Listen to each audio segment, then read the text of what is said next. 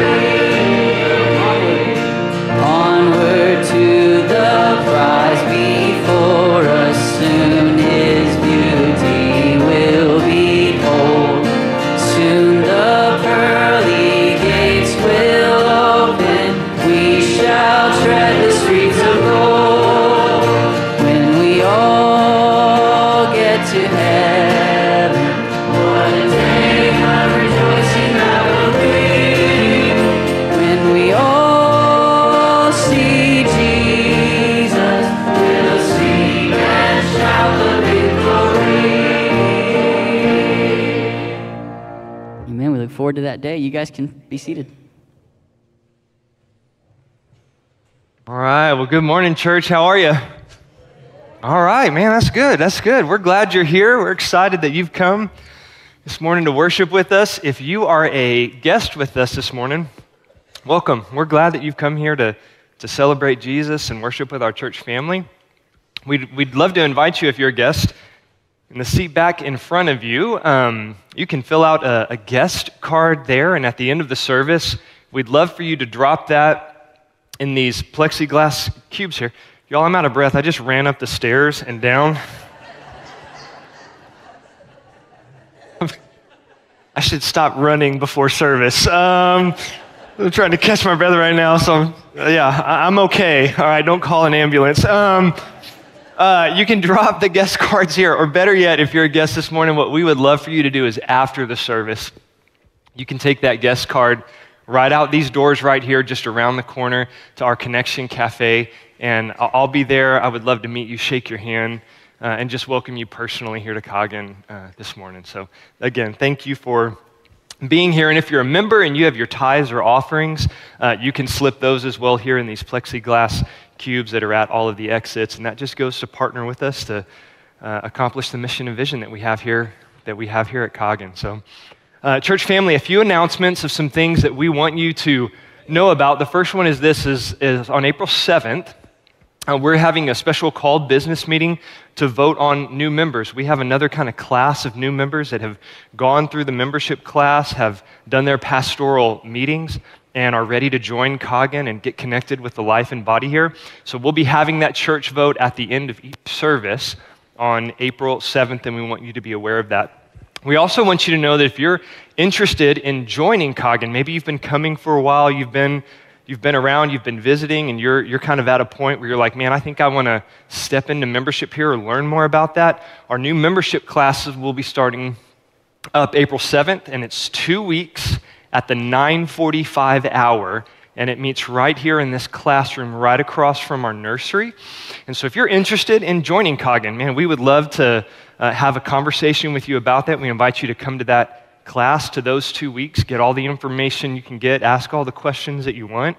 Uh, and if you still want to join, then we'll move forward in that process. But that's coming up. You can sign up for that uh, online. And finally, we want to let you know that, man, Easter is coming up. We have our Good Friday service coming up this Friday. Easter will be next Sunday. There is no Sunday school that will be going during that hour and, and uh, next Sunday. And the reason we do that is because, church, we really want to give you an opportunity to, to serve and invest. So um, if you can go online, you can register online to serve either on Good Friday at one of the two services, cross services we'll be having on Good Friday, or to serve on Sunday, either in the parking lot, greeting at doors, helping out in the nursery, we always have a ton of kids that come uh, and, and are part of our service. So we, we really just want to invite you to, if, if you haven't signed up for somewhere to serve and you're looking for somewhere to serve, you can go online, register for that, and click to serve somewhere Good Friday or Easter Sunday next, next week. Okay, we want to move into a time now uh, of, of prayer. We do this every week. If you're a guest here with us every Sunday, we try to take a few moments out of each Sunday morning just to spend some time in, uh, in prayer. And so I just want to invite you, if you'd bow your heads, and I'm going to kind of prompt you through some things this morning. And uh, what we're going to do this morning is we're going to pray for the cross service and our Easter service next, next Sunday. And what I want you to begin to do is just think about someone that the Lord may have placed on your heart to invite to one of those services or maybe they don't live here in Brownwood. Maybe they're not going to be able to come with you to the Easter, uh, the cross service or the Easter service.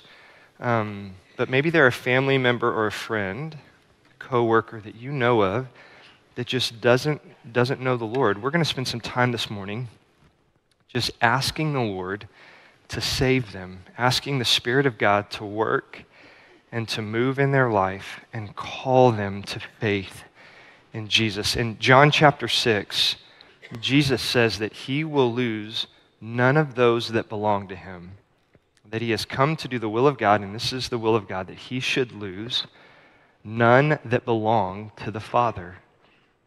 And so, would you pray for the Easter service, for the cross service, that the gospel will go forth and that the Spirit would awaken faith and there would be people that would respond gospel message of Jesus.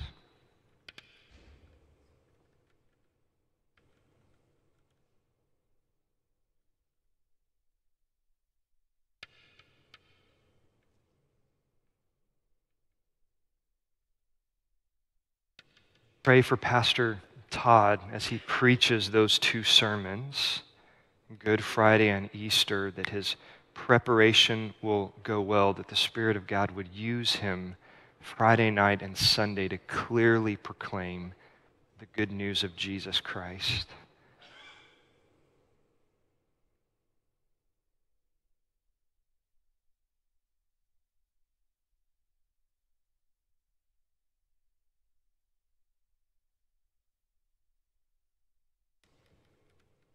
Father, we confess this morning that our hope is in you.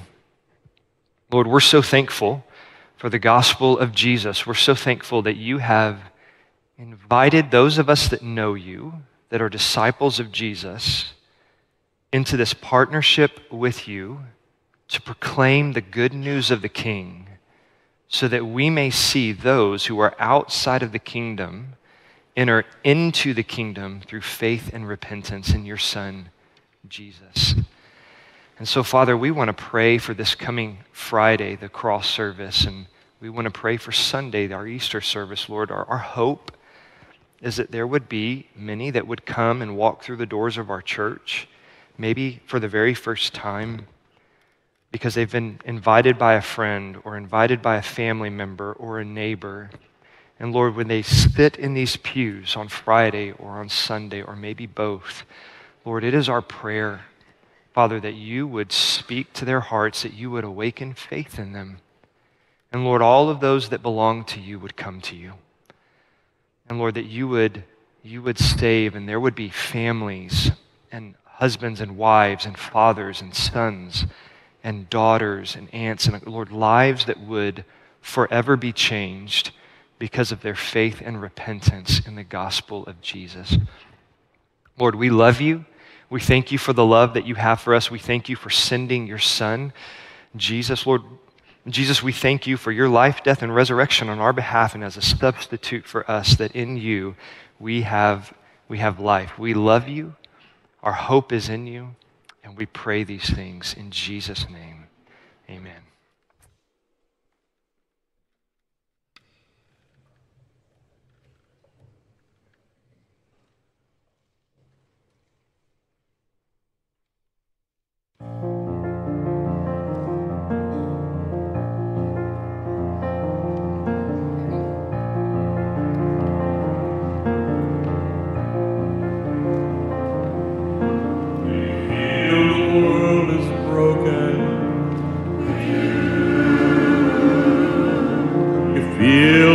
Shadows deepen.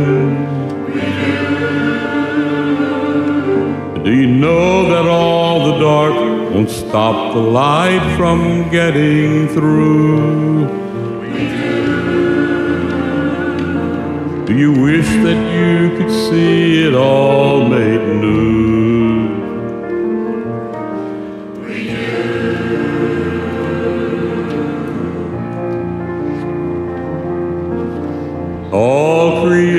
Creation groaning is a new creation coming? Is the glory of the Lord to be the light within our midst? Is it good that we remind ourselves of this?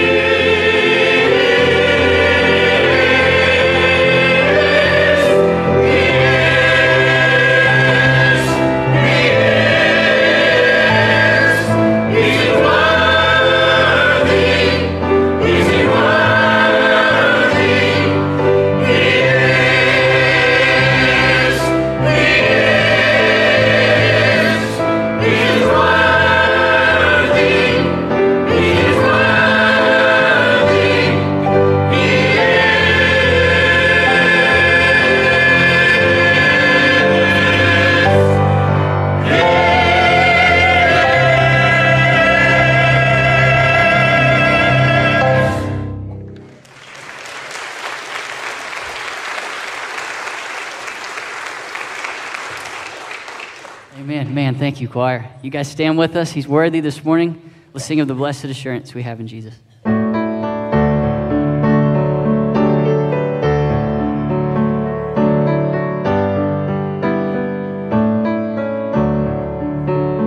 Blessed assurance, Jesus is mine. Oh, what a foretaste of glory divine, heir of salvation.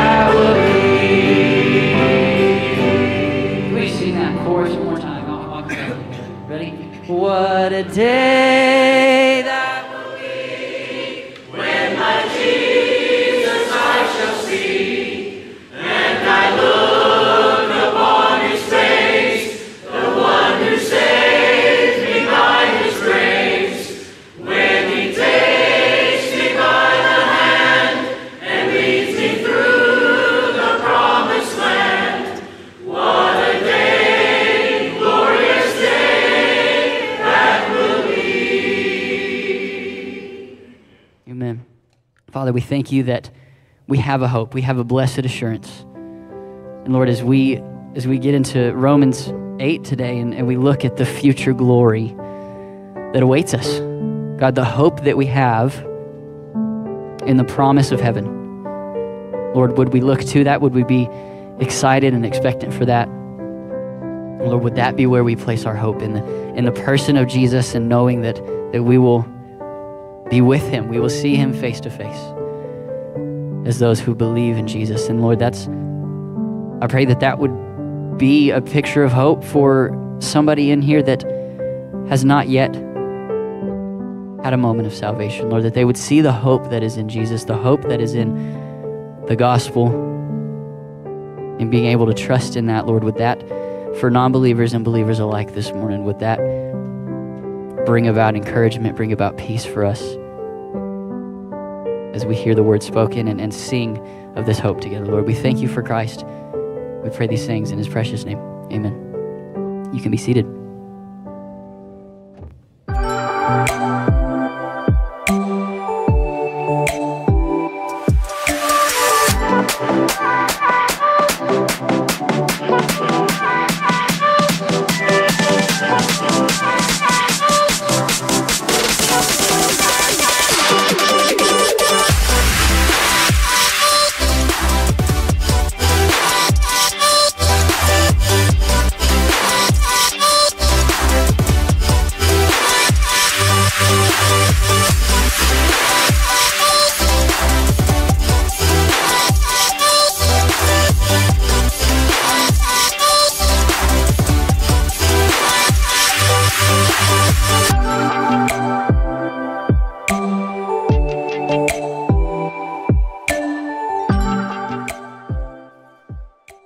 Church. Well, man, it's good to see you this morning. If you have your Bibles, I'm going to invite you to open them up to Romans chapter 8. If you are a guest this morning, or maybe this is your first time here, we have been um, in a series walking through the book of Romans, and we've now gotten here to Romans chapter 8, and we're spending about six or seven weeks inside of this chapter.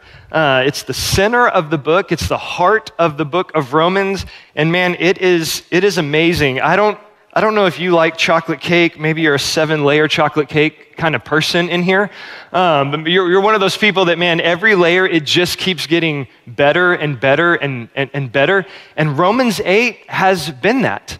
Romans 8 has been that. It starts with um, the new freedom that we have now in Christ and no condemnation. It moves to a new realm that the believer and receiver of Jesus lives in in the Spirit that gives life, a new mindset that we are given in Jesus, a new responsibility and power to put the flesh to death, a new identity as the adopted children of God.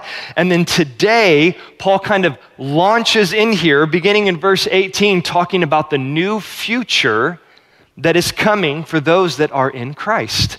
And so we've got to pull some threads together this morning about what kind of new future is Paul talking about. We're going to have to deal with um, some of your notion of what heaven is going to be like, right? We're going to have to dive into that, kind of tease out some things in, of, of what heaven is going to be like. Because as I've talked with people, some people have some really skewed views of what heaven is going to be like. It's a, it's a, a, a giant, long church service where you have to be quiet and Jesus plays the organ. It's like, okay, is that, is that really what heaven's going to be like? Or, or what exactly is, is heaven? So, so Paul is going to lay a foundation here. He's going he's going to start by making a very audacious claim. All right? And immediately at the start here in Romans chapter 8, beginning in verse 18, Paul is going to force you to confront your trust in the authority and truth of God's word. All right? So that's the first rattle out of the box. And then from out of that claim, he's going to kind of give you an explanation or expand two things that are coming for the believer of Jesus Christ.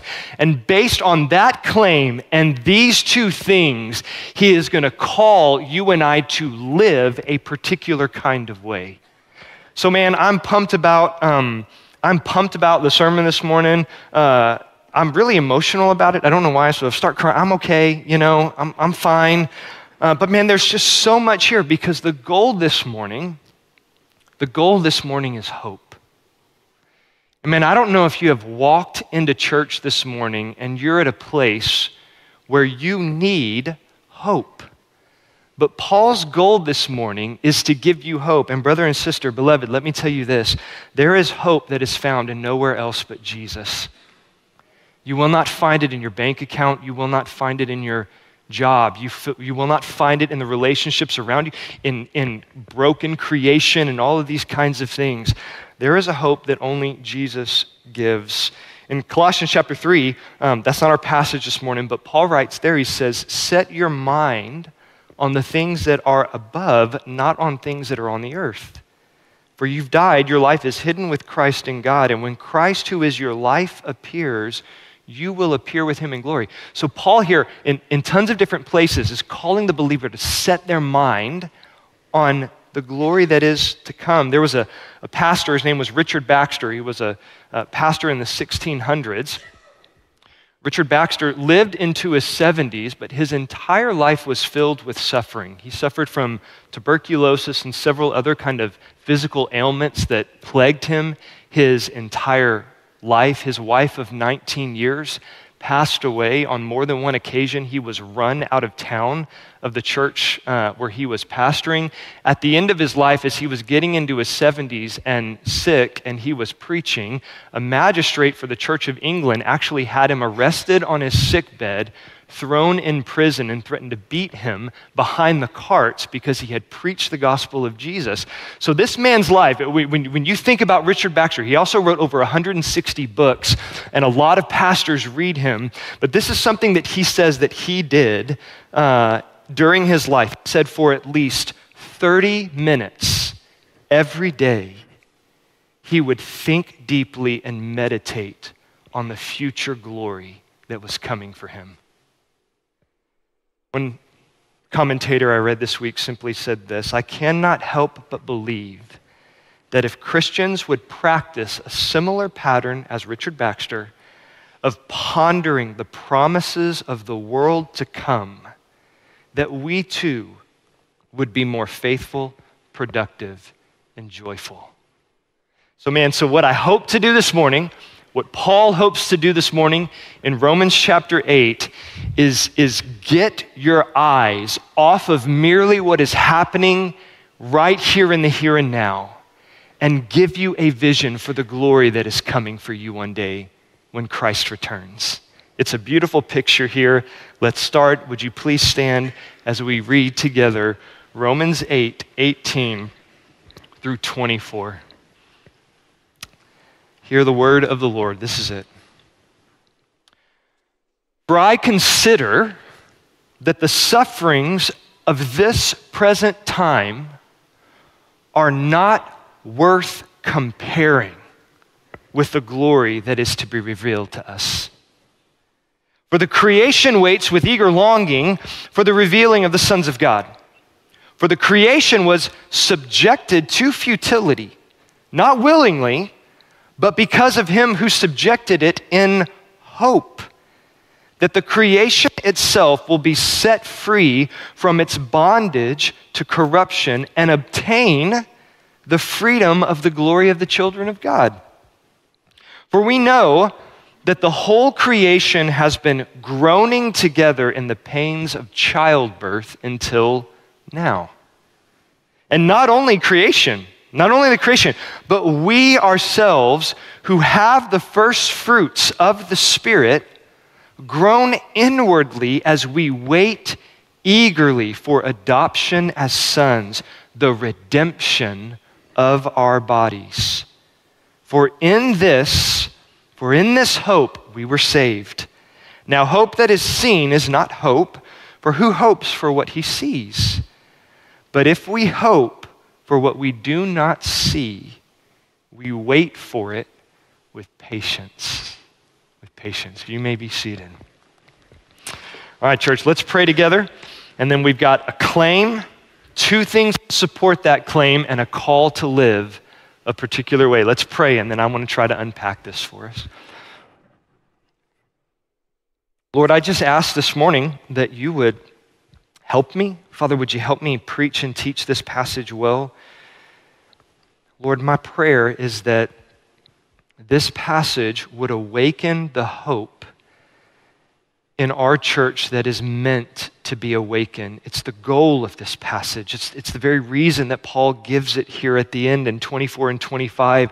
We wait for this with hope, with patience, what is coming for us in Jesus. So, And, and so, Lord, I pray that you would help us trust in your word, that believe, Lord, that we would believe what you say this morning, because what you say is true and you've never lied to us.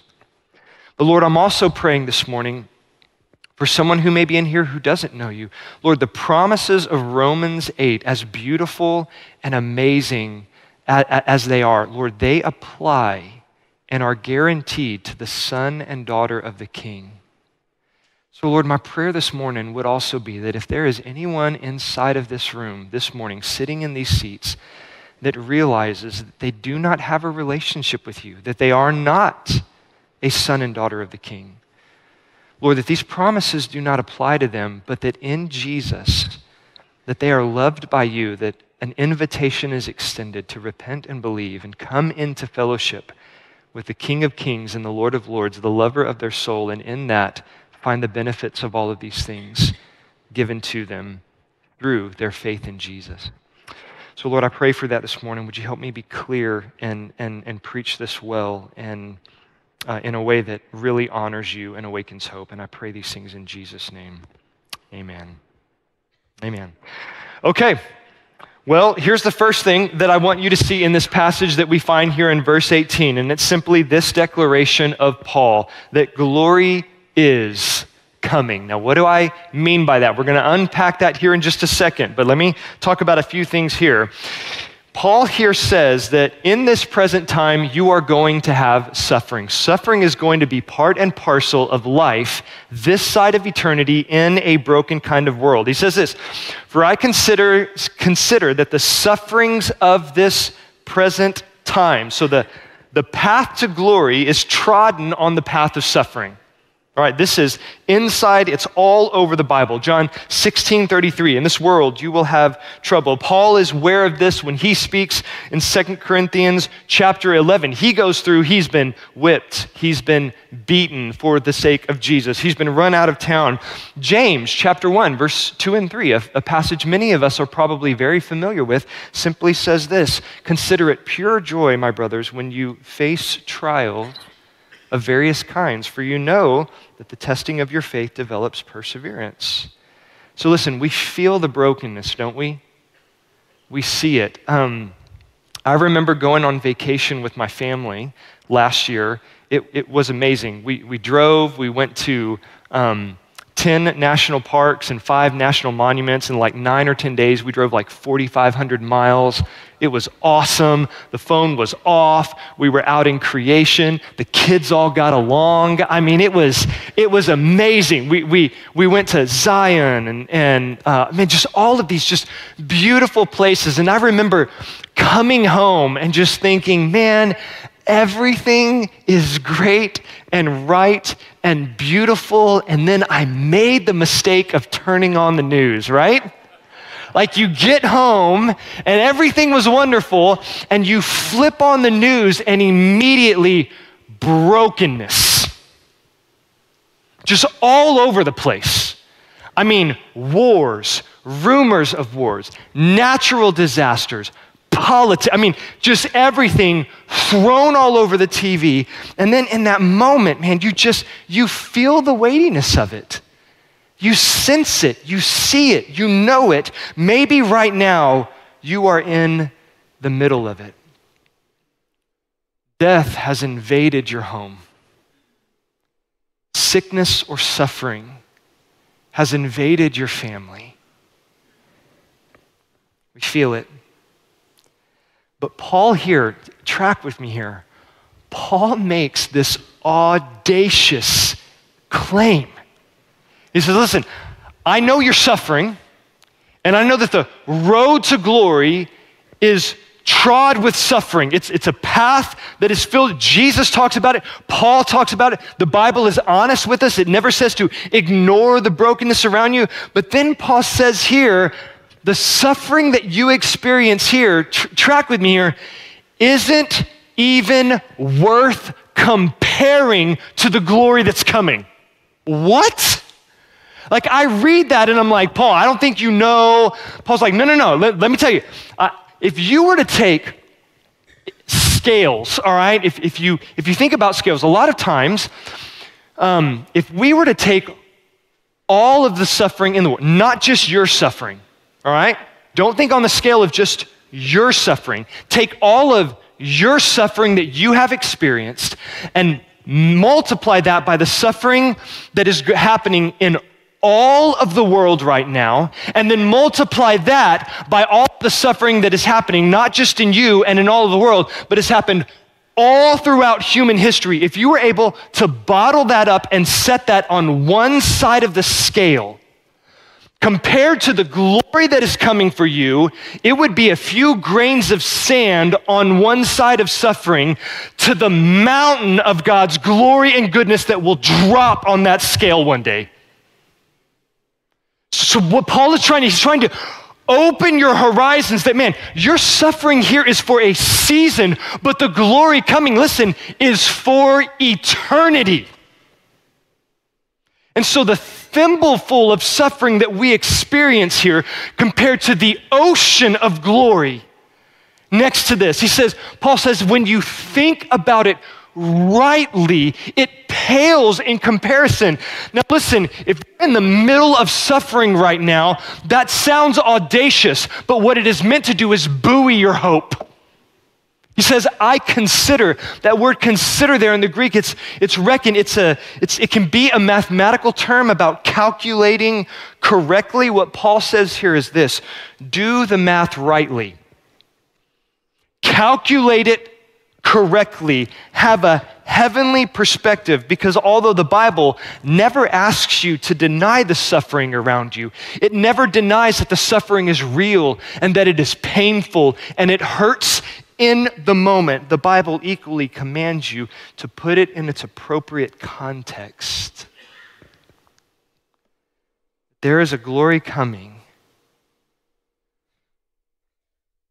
There is a glory coming that will make the hurt and the suffering right now pale in comparison. Paul says this in 2 Corinthians, have your Bible, 2 Corinthians chapter 4, 17 through 18. Paul says this. Actually, I guess you could start in verse 16. Paul's going to say it again this way in 2 Corinthians chapter 4, verse 16 through 18. So we, we do not lose heart. We don't lose heart. Though our outer self is wasting away, our inner self is being renewed day by day. Now, listen what he says here in verse 17. For this light and momentary affliction, what is it doing? It's preparing us. It's preparing us for, now look at the comparison that, he, that Paul makes here. Light and momentary affliction is preparing for us, and then watch how he flips it here an eternal weight. Light and momentary, eternal weight of glory. And listen, beyond all comparison. As we look not to the things that are seen, but to the things that are unseen. For the things that are seen are transient or temporary, but the things that are unseen are eternal. Brother and sister, listen to me. Hold on. Hold on. Take all the pain and the sadness that you feel, and one day, one day, that will be flipped and the glory will be that much more glorious, and the joy that much more joyful, and the goodness that much more good because of the suffering that you have walked through on this brokenness side of eternity. The joy of seeing loved ones again, the joy of reunions that are coming. Imagine the joy on this day because the joy that you will feel on that day, according to Paul here in Romans 8, verse 18, will make the suffering this side of eternity pale in comparison. What a hope we have in Christ, church. What a hope we have in Jesus. Now, listen, if that's coming, what does that mean? So, so Paul here says there's a glory coming that will make the suffering in this life pale in comparison. Do the heavenly math here. Don't, don't let suffering rob you of the glory that Jesus has secured for you through his life, death, and resurrection. Don't let suffering do that. Cling and hold to hope here. So now, but what exactly does that mean? What kind of glory is coming for you and, and for me? And Paul here is going to unpack two things, two kind of hints of what this future glory that's coming is going to entail. So, the second point that I want you to see here is this paul's going to say it's not just not just future glory that's coming that suffering won't get the final word but he says this new creation is coming new creation is coming look here at verse 19 for the creation waits with eager longing for the revealing of the sons of God. What he's talking about there, it's this imagery. He's kind of personifying creation. And he says, man, creation is like a kid on Christmas. Like creation is on its tiptoes, it's looking out and it's waiting for the sons of God to be revealed. Well, what does that mean? Why is, why is creation waiting for the sons of God to be revealed? Well, well, here's what that means. When Jesus comes back, those that belong to him will be taken to him. And those that are truly sons and daughters of Jesus are going to be revealed. And when that happens, creation knows something is coming for it. It knows, it knows something is coming. Well, what's coming for it on that day when that happens? Well, look at verse 20. For the creation was subjected to futility, not willingly, but because of him who subjected it in hope. Well, here, here's what's wrong creation is broken, it exists in this corrupted state, it has been subjected to futility. This goes all the way back to Genesis chapter 3 and the sin that entered the Garden of Eden. And there, God actually curses creation and says, Listen, creation is now going to be broken. He tells Adam, You will work the ground, but it will be by your sweat now. There will be toil, thorns, and thistles will come. And in that moment, creation was fractured and broken. It is frustrated, it is imperfect since the fall. Floods, hurricanes, tornadoes, death, sickness, cancer, AIDS, the destruction of creation has become common. And listen, although various environmental and government agencies try to make noble attempts to protect the earth and restore some things, listen, human effort will never be able to fully resolve the brokenness in this world. Never. Paul right here says it, has been subjected to futility. Now, now, but, but, but look at what it says here in verse 21. It's been subjected, though, in hope. Verse 21 that the creation itself will be set free from its bondage to corruption and obtain the freedom of the glory of the children of God. Here's what that means creation has been broken, but when Jesus returns, creation is going to be set free from its brokenness. Now, this is where, now track with me here. This is where I want to pause for just one second and try to help tease out for you your understanding of what heaven is. Okay? So if someone were to come this morning and ask you and sit down with you and say, Give me your theology of heaven, what is heaven? There's a lot of things, what I found as I, as, as I talk with people, there's a lot of things that people may say that heaven is. And some of them are kind of good, some of them are, some of them are not good. Like I said, some people have a view of heaven I, I know when I was growing up, it was that, man. I thought, man, do I really want to go to heaven? Because it's, it sounds like a giant church service, right? Stained glass windows, Jesus on the organ. You walk in, shh, be quiet. You know, you gotta, you gotta sit down and you just listen to a sermon for all eternity, right? And when you're like eight or nine, I'm thinking about that and I'm like, man, I don't know, all right? Like, Xbox, you know, there's some things that sound a lot more fun than that right now.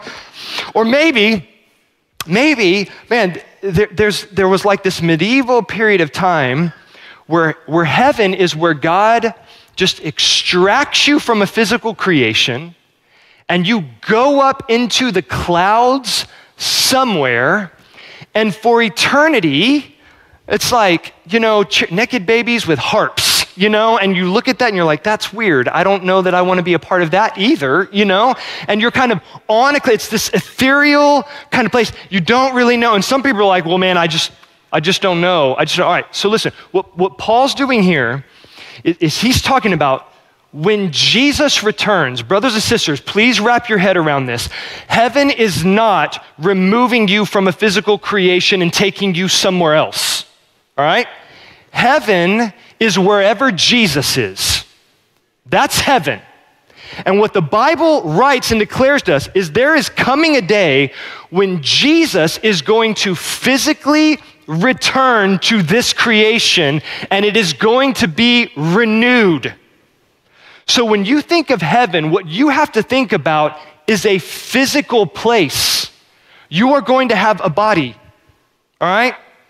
There's going to be gardens that you will work. You will have a job. Think of physical creation with no brokenness or sin there. And the king and King Jesus is ruling and reigning over this place. All the way back in Genesis, when God creates in the garden, at the end of creating light and mountains and trees and rivers and animals and, and all these kind of things, what does God say about creation? That it's what? It's good. It's good. Now, brokenness has entered into creation and is toward things. But when Jesus comes back, what Paul is saying here is that creation is going to be renewed. This is what Isaiah 65, verse 17 says For behold, I create a new heavens and a new earth. The former things shall not be remembered or come to mind. The brokenness that so infuses and walks around and is evident in this creation will be no more. Revelation chapter 21, if you have your Bibles, flip there. Revelation chapter 21, the first four verses here in Revelation 21.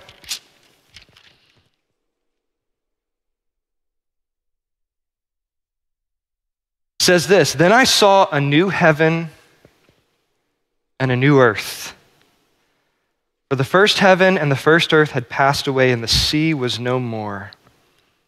And I saw the holy city, the New Jerusalem, coming down out of heaven from God, prepared as a bride adorned for her husband. And I heard a loud voice from the throne saying, Behold, the dwelling place of God is with man and he will dwell with them, and they will be his people, and God himself will be with them as their God. And he will wipe away every tear from their eye. And death shall be no more, neither shall there be mourning, nor crying, nor pain any more, for the former things have passed away.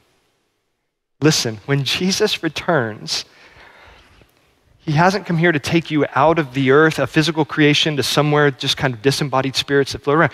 Even in the Lord's Prayer, what do we, what do we pray? Our Father who art in heaven, hallowed be your name. Your kingdom come, your will be done on earth as it is in heaven. That day's coming. That day is coming when the will of God, the glory of God, the rule and reign of Jesus is going to happen on earth the way it is in heaven. And what Paul is saying here is that if you belong to Jesus, this new creation is coming for you. A new body that never again has sickness, um, a house, a garden, a job. Imagine living. There, there's some, it's going to be more, it's going to be, it's going to be greater, but imagine some kind of continuity with what you see and experience now with no sin present. So what he says here is this glory's coming. It's going to pale in comparison. And one of the things that's coming for you and I, if we belong to, if we belong to Jesus, is new creation. But here's the second thing that's coming, not just new creation. And man, this is this is good. Look at verse 23. And not only the, the creation, but we ourselves who have the first fruits of the Spirit groan inwardly as we wait eagerly for adoption as sons, the redemption of our bodies. Here's the third thing. The second thing that kind of frames this glory new, new bodies. Anyone else excited about that? Man, I tell, like, I hurt myself in my sleep now, right? Anyone else tracking with me? Like, I go to bed and things don't hurt, and I get up and things hurt, and all I did was sleep. And, and I, I, I mentioned that to Ricky Cavett uh, a while ago, and he was like, hey, man, just let me encourage you. It doesn't get any better. I'm like, thanks. Thanks, Ricky. I, I appreciate that. Um, it just, it just kind of grows from, from there. And, but listen, like creation is eagerly awaiting, it's, it's being set free from the bondage to sin and decay and brokenness. What Paul says here is that if you belong to Jesus, this kind of glorification, this kind of setting free from brokenness and bondage, it's not just coming for creation. Listen, it's coming for your body.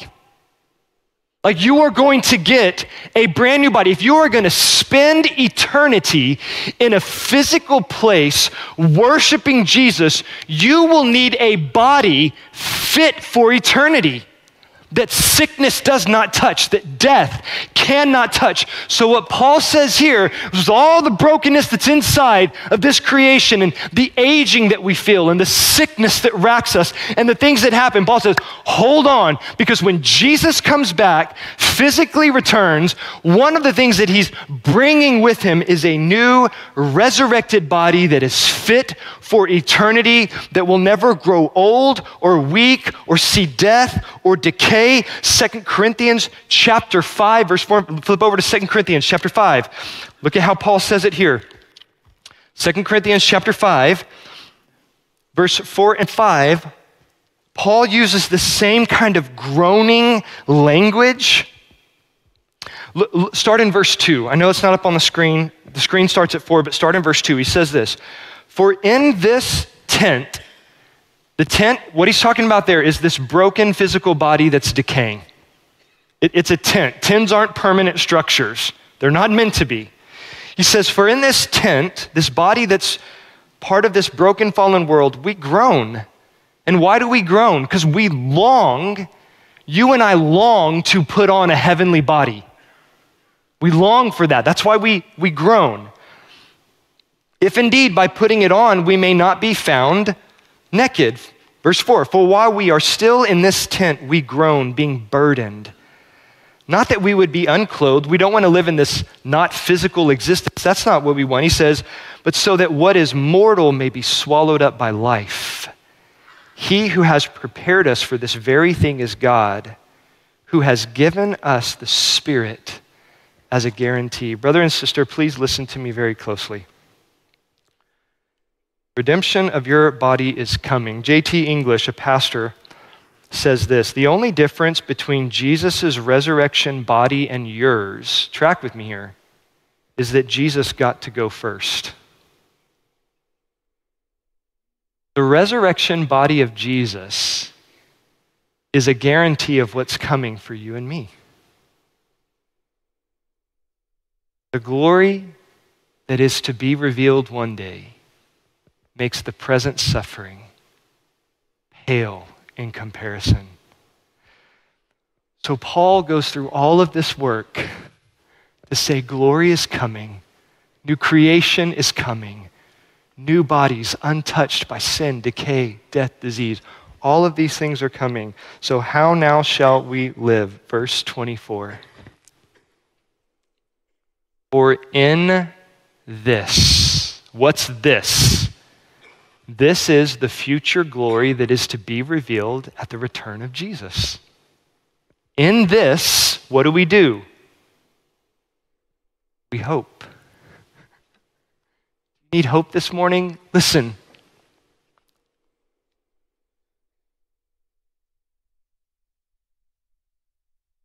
True bedrock, solid foundational hope will not be found in more nutritional s- substitutes. It's not another vitamin. You tracking with me? It's not another, our, our culture says, man, we are enamored with staying. It's just another surgery to make yourself young. There's no hope there. Gravity wins, all right?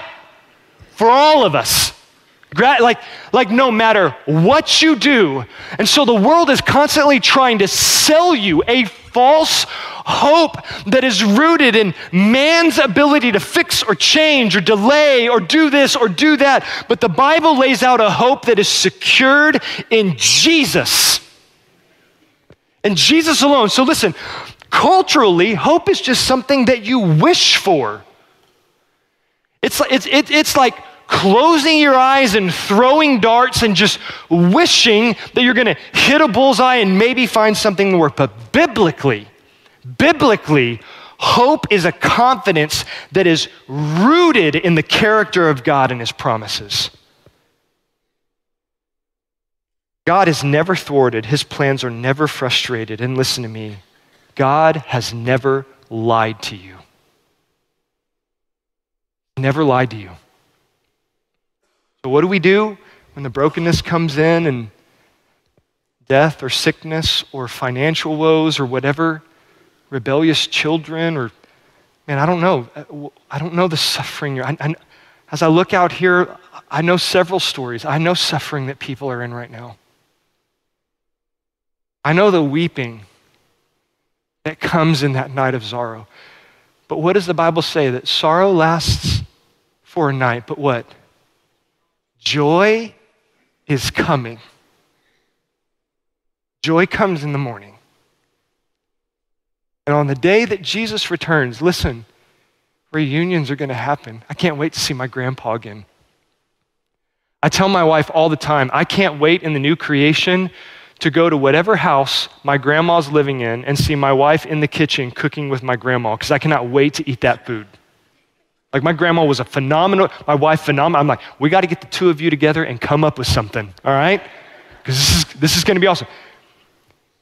Sorrow lasts for the night, but joy comes in the morning. So you and I, we wait with hope. And we wait with not just hope, but look here what it says in 25. But if we hope for what we do not see, we wait for it not just with hope, but with what? Patience. Patience. Brother and sister, God will finish what he has started. He will cede no ground that he has won over the enemy to him. So 1 Peter 1:13 simply says this: Gird your minds for action. Keep sober in spirit. Fix your hope completely. Not part of it. Not 10% of it not 90% of it. Gird your minds for action. This will be a steeling of your mind that must take place. You must keep sober in the Spirit, controlled by the Spirit, and fix your hope completely on what? On the grace to be brought to you when? At the revelation of Jesus Christ, at the return of Jesus, brother and sister, there is a grace coming for you. There's a new creation. There's a new body. There is a reversal of everything sad that will become untrue. Until it is good, listen to me, it is not the end. What a hope. So we wait with hope, we wait with patience. And, brother and sister, this will require you to seek out the community of faith to remind you of this and to remind you of this often. And I hope you go home and download that song that the choir sang. That, that song perfectly embodies this sermon here in Romans chapter. Ron, Matt, thank you. Thank you for doing that song. The songs we sing. Why do we get together and sing? When we all get to heaven, what a day of rejoicing that will be. Why do we sing that? Why? Because as I sit here with the church, I see the brother or sister that just lost their husband or their wife or their child, and I see them singing, When we all, and what does that do to my, it raises my hope. It buoys my patience. And in this broken world, this side of eternity, you need the church to remind you of these truths because what the enemy longs to do in the middle of our suffering and brokenness is blind you to the reality of these truths. And the community points you to Jesus and points you to these truths. My prayer is that this morning, Paul has done that for you and me. Let's pray. Father, I thank you for this passage. I thank you for this text. I thank you for the hope that it brings. And, and Lord, I pray that we would be rooted in it that you would be glorified in the church as the church just doggedly remains hopeful in the midst of suffering and in the midst of brokenness. Father, would you be glorified as the church lives with a steadfast hope? Lord, there's so much brokenness in the world right now, and I feel like when the church remains hopeful and patient and steadfast, they see that we have a hope that is unshakable and they want it. And in that moment, we get to point them to Jesus. Would you make us a faithful and hopeful people? In Jesus' name we pray. Amen. So, listen, as we close out our service, there's a few ways to respond here. Uh, one way is maybe you just need to sit and pray and have some conversations with the Father and remind yourself. Maybe the hope of glory that's coming for you has been covered by suffering and brokenness. And you need to ask the Lord, Lord, remind me, help me gird my mind for action here. Maybe you just need to pray and ask the Lord for patience. Maybe you need to stand up and sing this song over the, those that are around you because you know the suffering that they're walking through, the brokenness that they are experiencing right now. But oh, would we remember the glory that is to come that will make the suffering pale in comparison. So if you need to respond that way, do that. If you need to come down here and write a name of someone that you're praying for this coming weekend during Good Friday and Easter for their salvation, that God would enter in that space, we invite you to do that as well. I'll be down here front if you want someone to pray for you, but let's stand together and let's respond.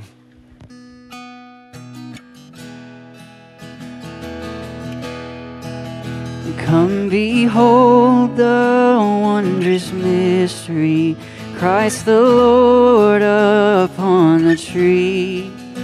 In the stead of ruined sinners hangs the Lamb in victory. See the price of our redemption, see the Father's plan unfold bringing many sons to glory, grace unmeasured, love untold.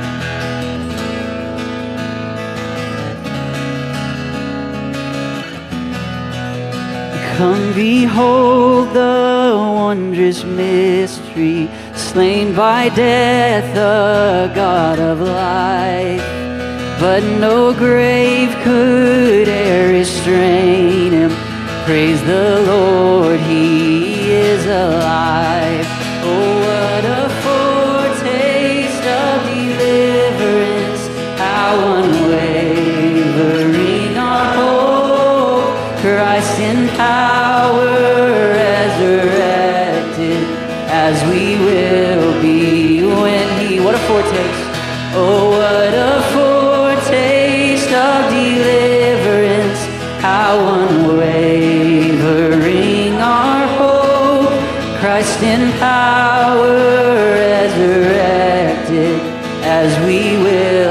Together one more time. What a foretaste.